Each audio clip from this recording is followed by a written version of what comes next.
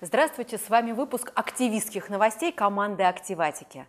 И я вам сегодня расскажу про совершенно невероятно красивую акцию, которая произошла в Башкирии 12 мая. Представьте себе, что там, рядом с горой Таратау, 3000 человек взялись за руки, взяли огромную ленту в виде цветов своего национального флага и встали в такое кольцо, чтобы сохранить свою любимую гору. Дело в том, что гора Таратау – это уникальное место. Она входит в природный комплекс Шиханы, а тем временем ТДК «Сода» собирается производить э, в этом месте промышленные разработки, добывать там известняк. И это очень не нравится местным жителям. Вот почему они приехали к месту проведения акции целыми семьями.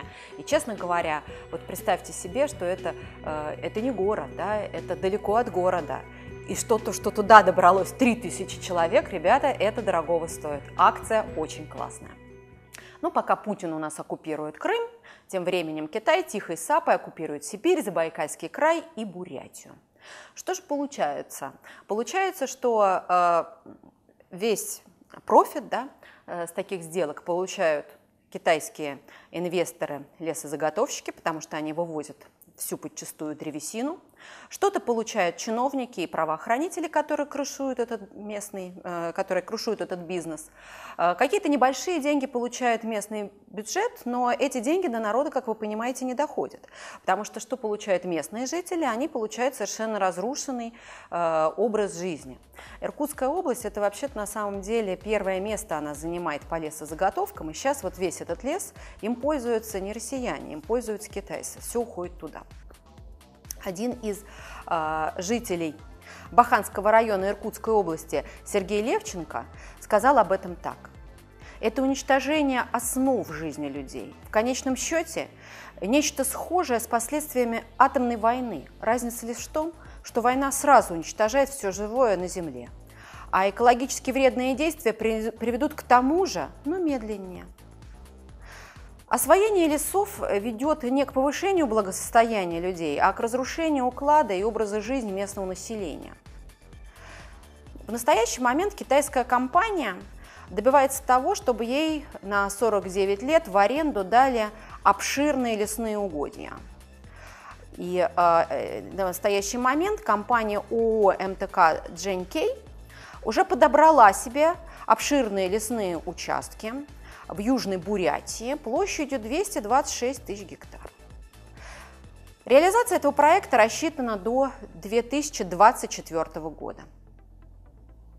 Закаменский район и в Южной Бурятии, на который положили глаз китайские инвесторы – он очень ценен с природной точки зрения, потому что там произрастают кедры, и очень много э, различных даров природы в виде там, диких ягод, грибов.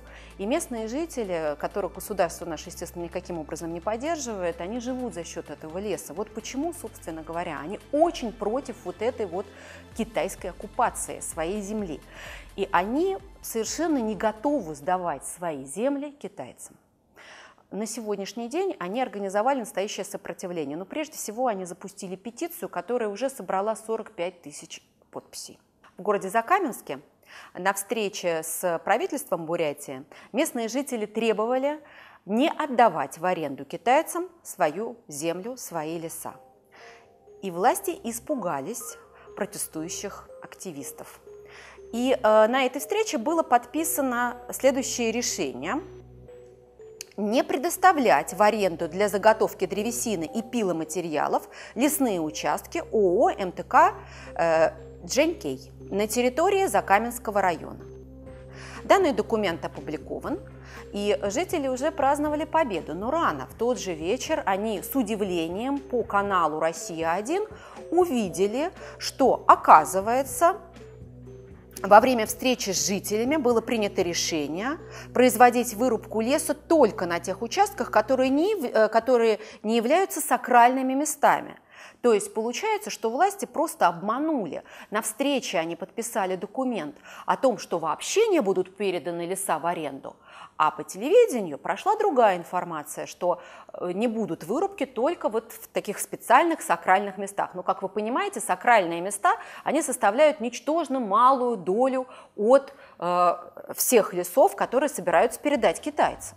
И, следовательно, получится вот такая вот выжженная земля, пустыня, где проходят сплошные рубки с маленькими вкраплениями вот этих вот сакральных лесов. Но это, конечно же, издевательство. И в ответ на этот обман 14 мая в Улан-Удэ активисты вышли с решительным протестом против того, чтобы их землю сдавали китайцам.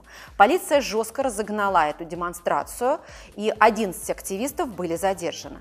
Совершенно по-разному отреагировали на протест в Бурятии местные власти и китайские инвесторы. И если глава Бурятии Алексей Цыденов обвинил э, во всем неких там отдельных товарищей, решающих свои предвыборные интересы, то представьте себе, что генеральный директор ООО МТК Дженкей Ли Шубо попросил правительство Бурятии поискать другой участок для их проекта. Вообще, конечно, это удивительная ситуация, когда какой-то китайский инвестор слышит протест в России лучше, чем местные власти. Когда власти не слышат мирного протеста, то они тем самым провоцируют более радикальные формы протеста. И это, собственно говоря, сейчас происходит в Ядрово. А, дело в том, что там где-то начиная с апреля месяца а, развивается такое настоящее партизанское движение. Ну, как вы понимаете, совершенно не от хорошей жизни, потому что просто не слышат мирных требований, совершенно законных требований граждан. А, что там происходит? В апреле неизвестный мужчина напал с топором на мусоровоз, который вез как раз вот мусор на свалку Ядрова. А 12 мая произошло вообще уже очень серьезное событие. Опять же, какой-то неизвестный человек обстрелял водителя мусоровоза из гладкоствольного ружья, и водитель получил ранение. А в ночь на 14 мая тот самый новый участок свалки Ядрова, который так издевательски был открыт э, властями для ввоза новых порций мусора, э, был подожжен.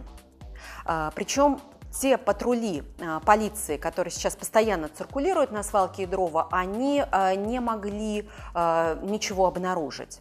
И один из акционеров полигона Ядрова Алексей Волошин заявил, что люди боятся работать на свалке Ядрова. Они боятся стрельбы, они боятся поджогов. Ну и правильно делают, хочу вам сказать. И Алексей Волошин заявил, что они подумывают уже о том, чтобы вообще закрыть эту свалку. И правильно я хочу вам сказать, Алексей, вы думаете в верном направлении. Закрывайте скорее свалку и давайте уже решать этот вопрос со свалкой цивилизованно. Как? А вот я вам приведу пример, как это решают, например, в Сеуле, в Южной Корее. Есть такое место, где рекультивировали бывшую свалку Хонгичхон и превратили ее по-настоящему в цветущий сад – Представьте себе, что с 1978 года прошлого века там копился мусор. И накопился вообще очень так серьезно. 100-метровая гора получилась, тоже очень зловонная, которая совершенно не удовлетворяла местных жителей, которые вокруг жили. Что сделали власти Сеула? Они отвели трубу со свалочным газом, сметаном, от этой свалки. И теперь ближайшие кварталы отапливаются и будут еще отапливаться несколько лет именно вот этим газом с этой свалки. Потом они провели полностью рекультивацию земель вот этой вот 100-метровой горы и организовали на этой горе огромный парк. И вы себе не представляете, я была в этом месте, и вы себе не представляете, какое количество желающих со всего мира приезжает на это место. Представьте себе, что вот из этой паршивой свалки они сделали настоящий цветущий сад, место притяжения туристов.